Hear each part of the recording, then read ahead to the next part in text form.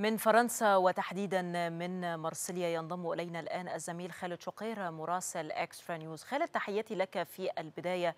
التحديات الاقتصادية التي تواجه الاقتصاد الفرنسي وتعود بشكل مباشر على الشارع الفرنسي والمواطنين. ما تداعيات الأمر وإلى أين وصل؟ يعني ربما ذروته إليك وتحديدا وانعكاسه على طبيعة الأسعار وارتفاع الأسعار في فرنسا. تحياتي آية ليكي ولكل السادة المشاهدين. الحقيقة آية كالعادة إكسترا نيوز تحاول أن تتعرف على الوضع الاقتصادي ليس فقط من خلال ما يكتب في الصحف الفرنسية كجريدة ليزيكو الفرنسية المختصة بالشأن الفرنسي فحسب ولكن نتجول بكاميرا إكسترا نيوز في المحلات وفي محطات الشحن الشحن والبنزين وغيرها من هذه الأماكن. كما جرت العادة الفرنسيين يحاولون آية تغيير عاداتهم ومرة أخرى يحولون استخدام مثل هذه يعني يعني هذه الدراجات الهوائية وأيضا الدراجات الكهربائية كما تريني من خلفي هنا وبصفة خاصة بعد هذا الارتفاع الكبير في أسعار المحروقات أسعار المحروقات التي أدت إلى زيادة أسعار النقل وزيادة أسعار النقل بصورة أو بأخرى أدت إلى زيادة أسعار المنتجات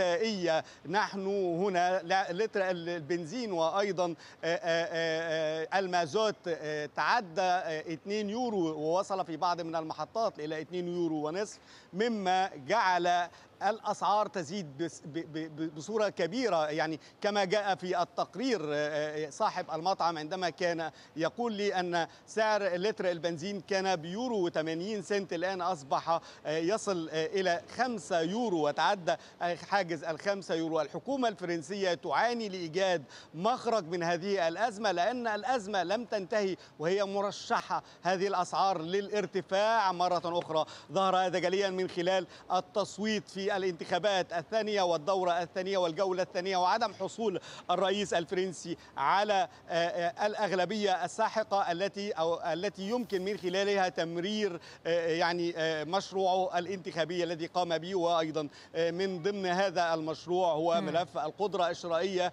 وتقديم بعض من خالد المساعدات تعلم جيدا منذ بداية هذه الأزمة وربما تكون ليست هذه الأزمة التي نقصدها هي الأوكرانية الروسية فقط ولكن منذ بداية أزمة كورونا ونحن نتحدث عن وصف دائما يطرح نفسه في الواقع الأوروبي والغربي وهو لفظ التعايش ووصف التعايش تعايش المواطنين مع حال الانكماش الاقتصادي وكذلك أيضا يعني التحديات التي تواجه اقتصاديات البلاد. ماذا عن التعايش بالنسبة للمواطن الفرنسي في هذا التوقيت الحرج؟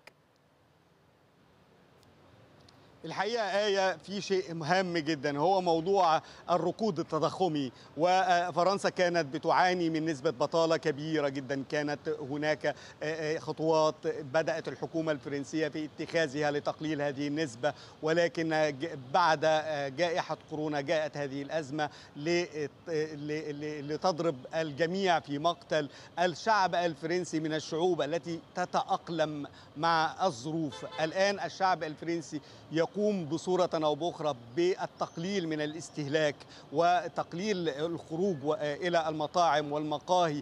يعني هذا القطاع ضرب في مقتل قطاع السياحة وفرنسا من الدول التي تتربع على العرش السياحي. نتحدث عن السياحة الداخلية حتى يفهمني مشاهد إكسترا نيوز. السياحة الداخلية التي كان الفرنسي يقوم مثلا بزيارة مدينة باريس لمدة أسبوعين أصبح اليوم لمدة أسبوع واحد فقط. الشعب الفرنسي يحاول التقليل من مشترياته والقيام بالتوفير حتى يستطيع الذهاب لمدة أسبوع في أجازة. يعمل على مدار 11 شهر لقضاء شهر في الأجازة. ولهذا الموقف كان عقوبة تقديم عدم يعني إعطاء الصوت للحكومة الفرنسية كعقوبة. يتحدث عنها أحد الوزراء ان أن فرنسا أو الحكومة الفرنسية لم تحصل على الأغلبية لأنها هي ضحية لهذه الأزمة. الأوكرانية والأزمة الاقتصادية والأزمة المالية العالمية التي عصفت بالتضخم وبدأ التضخم يضرب فرنسا لأكثر من 5% ومن المتوقع أن يصل بعد شهرين تقريبا إلى 7% حسب جريدة ليزيكو الفرنسيه. طيب خالد بالنسبة للواقع الجديد في فرنسا ونقصد هنا بالواقع الجديد أي بالتغيرات السياسية التي حدثت بطبيعة الحال في الواقع الفرنسي بشكل أو بآخر هل المواطن الفرنسي يعول عليها في تغيير بعض الأحداث أو بعض الظروف التي يريدها أن تحدث في الواقع الفرنسي؟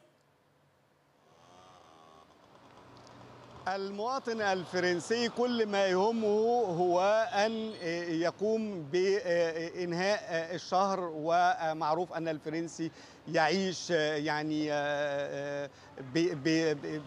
في إطار إمكانياته ولكن الآن القوى السياسية يعني تحاول الاصطياد في هذه المرحلة على يعني تعب ووضع المواطن الفرنسي. اليسار يريد المزيد من المساعدات اليمين يريد عدم يعني معاقبة الجهة التي تعمل ولا بد من مساعدة العاملين. ولهذا كان هناك قرار يعتبر صائب من قبل وزير وزير الاقتصاد برونو لومير الذي أكد على أن الدعم فيما يخص الدعم المادي الذي يقدم للمحروقات وللبنزين إلى مستحقيه أي للعاملين فقط الذين يستخدمون سياراتهم للوصول إلى أعمالهم. من ضمن ال ال الأمور التي بدأ الفرنسيين تغييرها وانهم يقومون بترك سياراتهم في أمام يعني منازلهم أو في المحطات الخاصة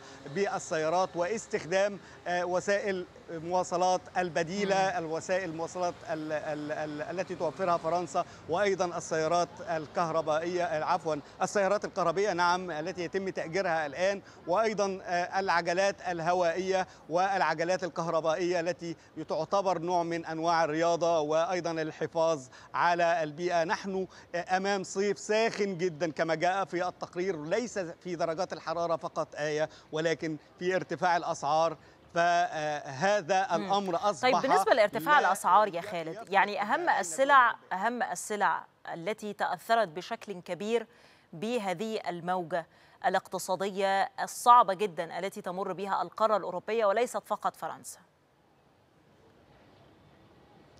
الزيوت تأتي في المرحلة الأولى الدواجن واللحوم في المرحلة الثانية وبصفة خاصة بعد ارتفاع أسعار القمح والحبوب الذي يقوم بالتغذية عليه في المزارع الفرنسية المنتجات الألبان ومنتجات الألبان الخبز. يعني معروف ان فرنسا معروفة ومشهورة بالباجيت زاد سعره ومن المرجح أن يستمر أو تستمر الزيادة حسب جريدة ليزيكو. هناك الكثير من ال يعني المواد الغذائية الأساسية هي التي زادت المكرونة والقهوة والسكر وغيرها من هذه المواد التي لا يمكن أن يتنازل عنها المواطن الفرنسي. وهذا دفع اليسار الفرنسي بمطالبة الحكومة بتثبيت تثبيت أسعار المواد الأساسية الغذائية وهذا سيكلف الدولة الكثير من الأموال. ولهذا الدولة م. الفرنسية تفكر في حل آخر وهو مشروع قانون.